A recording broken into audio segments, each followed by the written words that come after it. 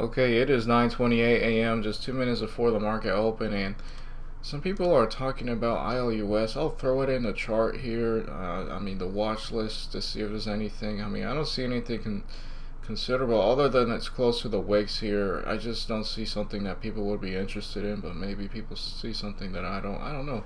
I'll be watching this if this can do some kind of a morning panic bounce play.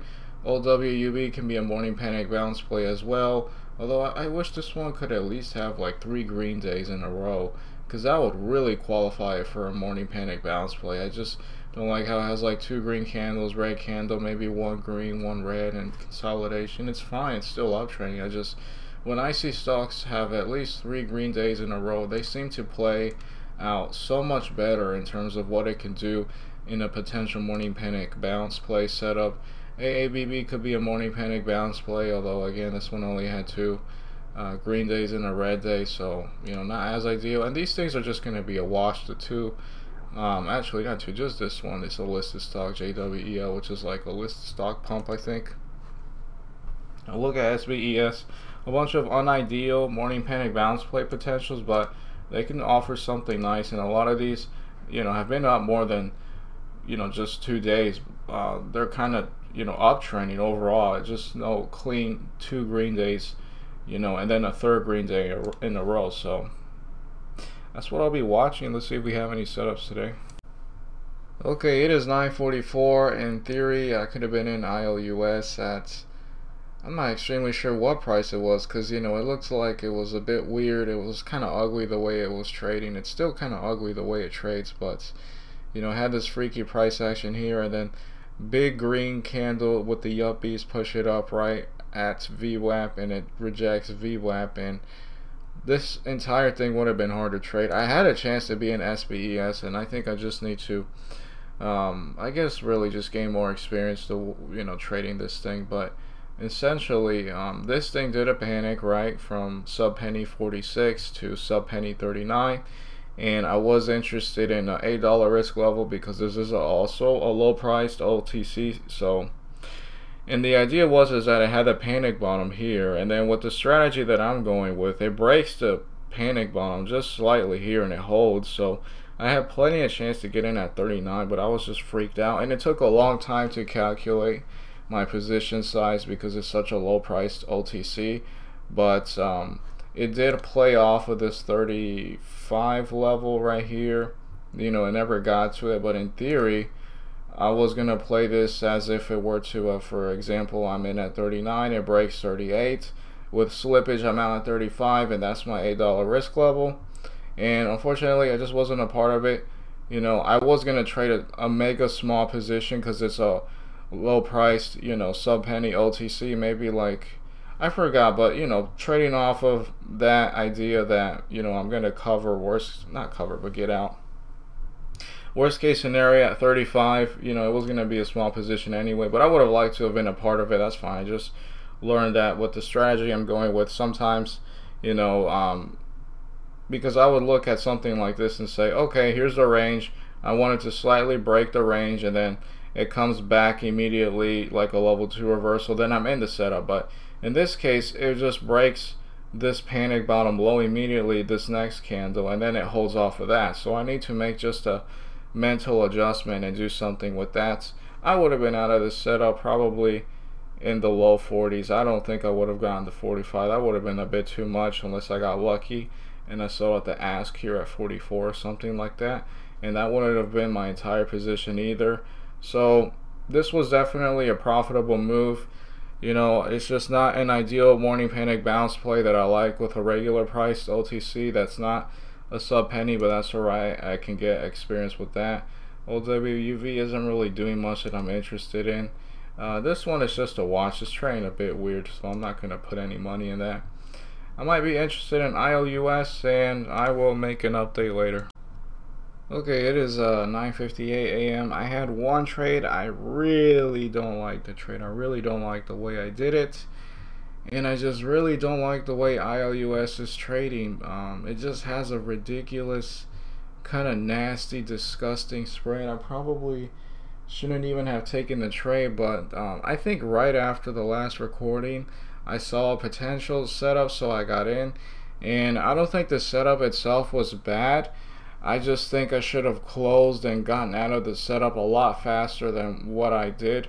Um, I was in at 947, which was right here, this candle. I put an order at the bid at 261. And right when I saw this thing do a, a quick spike to 26.53 with this amount of volume, and then it just got sold all the way back, you know, to the bottom, I thought this is not looking good. So I tried to cancel my order, but I wasn't able to. So I basically knew that I got filled in that um, price action right here and then the next candle just started to look disgusting and I took too long to get out of the trade because when I was in it right here a 100,000 um, share seller showed up at the ask which is the last thing you want obviously if you're going long is you get in the setup and then this humongous person with a lot of size is selling at the ask right so I hesitated too long to get out of the position but at least when it cracked 26 I was already in a hurry to get out I was able to get um, a partial fill. I was able to get 500 of the thousand shares out at 949 which was right here at um, 259 so I got out right here 259 at 949 half of my position it would have been ideal of course if I would have gotten all of it but you know that's fine. That's not always going to happen I had 500 more shares the last section at 256 unfortunately because you know it was a partial fill so I had to place another order to get the rest of the shares out. I did save myself from a move all the way to 25 it did hold 25 I just don't like the way it did it but I just probably need to adjust again with the thing that I was saying before. Like with SBES and that it makes a bottom and then the next candle I need to get used to the idea that the next candle can easily just break the panic bottom and then you know it broke it here and then it here. It just wasn't able to get lower. It broke under it but now it was holding above it. Now we have here a, wick higher than these two wicks. So you know it was a sign that this thing was going to reverse. Pretty salty that you know I could have been at 39 but I just need to get um, used to the new adjustment that I just made um, in terms of how I'm going to trade morning panic bounce play setups now and I think hopefully that can help me be profitable in a setup in the future. Uh, super nice move to 51 but I wouldn't have sold that high. I probably would have been out in the 40s for sure. And um, yeah ILUS did do the bounce there. I just fucking hate the way this one trades. It looks like trash right and then throughout the entire um, move towards the upside, right? There's always a person with a large size, you know, at the ask, right? It's just, and then the bid and the ask just flips and moves at a different price range. I hate the way this one trades. It's so gross. It's such a, um, usually when I talk crap about a pump and dump, you know, somebody just gives it a dislike. I'm not sure if it's a promoter, but don't worry. Um, ILUS is going to have some freaking amazing news and go to $9. Just not today, but one day, right? I will watch this if it can make like um maybe a higher low, lower low off of this setup here, but I'm going to be cautious with it because it's just something that trades so nasty, but it does offer opportunities at least, so I can't knock on it too much, right? And um, as for SBES, if it were to come back near this panic bottom, I think that would be a little too much because of how high it has bounced since this level. It would probably be a bit too sketchy for me and um, a bit bearish overall. So I'm not going to be interested in trading that. Yeah, just one trade there with ILUS. I should have been a lot quicker to get out. The moment I saw a 100,000 share seller show up at the ask, and then the bid, which was at the time trying to hold 26, was super weak. It didn't even have like, you know, a, a person like this. It, it just had like tiny, like 300 share, you know, bidders or so, just something tiny, right? I should have been quicker to get out for that reason, but um, you know, I guess a lesson is a lesson, and I can try to get better with that. I do like how it followed the same thing that I'm trying to do with morning panic bounce plays where you know it makes a new bottom it cracks it slightly but it holds it right and then you can try to get in afterwards and that was you know not a bad move at all because you know this one did get to VWAP which is always a goal for me so I will make an update later. I might not trade anything else because I'm not in the best mood because, you know, I just don't like how I missed SBES and this one made a massive move. And I don't like how I didn't get out of my ILUS position sooner. Yes, I did have a partial fail.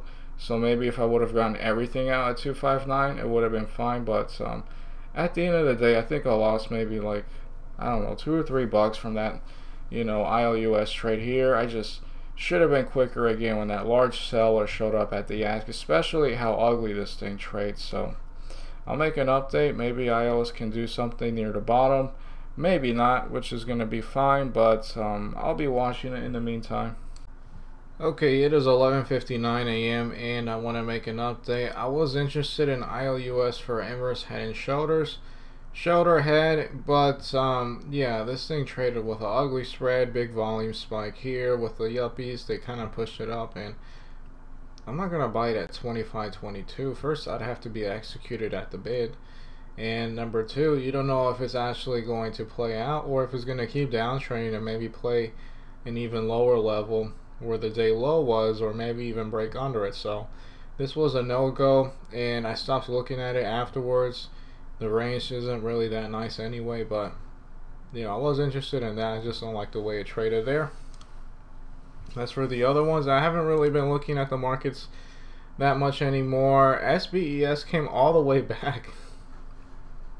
Super nice move from 39 sub penny to 51 again, I would have been out in the 40s. I was on the right track. I just took too long, and you know, I need to really get used to the idea that sometimes, you know, I'm thinking it's gonna break this range here that it's trading off of, but it actually already broke the range here, and it's holding this. So, with that small adjustment, I think I'll be ready to uh, be better at morning panic bounce plays. ILUS, I don't think I went over it, but this was like a higher low setup. So it has a panic, spike, higher low, risking off of this level. And then, you know, because that 100,000 um, share person showed up at the ask, you know, 26 failed. And that kind of gave me a sign that this thing is going to break this level very likely. Should have been out of it faster. That's fine. Uh, I think I'll make an update when the markets are closed. I don't think I'll make any more in the meantime unless I just see something that I just absolutely like. But Probably not. I'll make an update likely at the market close. Okay, it is 8.33 p.m. and I am here to call it off. I actually don't look forward to this Christmas um, you know, weekend. I, I really look forward to trading the next day trading is available, which I believe is next Monday. And I hope I can do a lot better. Now, I don't mind this with AABB. Again, I'm not really good with stocks that just break the day high because sometimes when I look at them, a lot of them just tend to fade away and not really do much or just top. But this one broke through and that's cool. If anything, that will make it a potential for a morning panic bounce play at some point, and that is what I like to do the most and tackle these. And um, yeah, maybe I can try to get better at this, but I want to really just master one thing morning panic bounce plays, which I feel like I did not do today that well with ILUS. This one played me. This one was, um, I don't mind missing this because this was really ugly and choppy, but I was played right here when it was, in theory, uh, Morning Panic Bounce Play um, higher low setup that didn't play out. At least I tried cutting losses. The one thing with Fidelity that Charles Schwab had, which was um, a lot better, was just to get me the heck out. Um, you know, quick uh, speed key, which isn't the case with Fidelity, but that's fine. I think Fidelity still offers really good executions and you know, I still have to trade more with it, but I think it's actually better than Schwab in that sense. But I'll take a quick look one more time, but I'm pretty sure Fidelity doesn't have like a speed key option to immediately get out of a position, but that was the case there, and it did turn around here. It was all ugly too. I, I was interested in this, a potential inverse head and shoulders. It did offer that, but uh, the way it bounced back was pretty quick that's fine. This thing doesn't really qualify for a morning panic bounce play in the future unless it does something just stupid clean. So um, this one had an uptrend too, but AABB was was a lot nicer, and, and AABB is also at a much nicer spot if you look at a daily chart as well. So JWEL, nothing I was interested in the entire day. Same with OWUV and SBES pretty salty that I missed this one because this was a nice morning panic bounce play. I just need to really stick with that adjustment I made last week, and I need to stick with it. Sometimes there's going to be a morning panic bounce play, and I get confused because I see it trading in a range, and I want to see if it will break it and go with what I'm thinking about. But I need to, you know, stick with that new adjustment that sometimes is going to make that panic bottom right at the end of the panic, and then the next candle it breaks under it and that's what qualifies it as a buy when it holds that. And that was a super nice one, this one, in terms of uh, percent difference. Again, I wouldn't have sold anywhere there, but a nice sell in the 40s would have been nice. I don't mind missing this one. This one, you know, sure it got near the lows and it uptrended right from the 40 to 45, but that took a while. I don't I don't mind missing that one. And I think OWUV tried that same kind of setup too later in the day. And as you can see, this one failed, so I don't mind missing those. Um, I could have done better with SBES. That's something I can get used to just with more practice and getting, you know, more experience with. And ILUS, I got played pretty hardly. You know, uh, just a very choppy stock. But, you know, when I saw that 100K seller, I should have been much quicker to get out. It's something I've seen before. It's a huge, huge red flag when you get in the setup right when it looks like it's going to do a nice uptrend towards the upside, and then the little spike it did got sold into, and then a 100k seller shows up. I should have been much quicker to get out, and I shouldn't have hesitated there. A lot of room for improvement, but um, at least you know I get more experience, and I definitely look forward to Monday.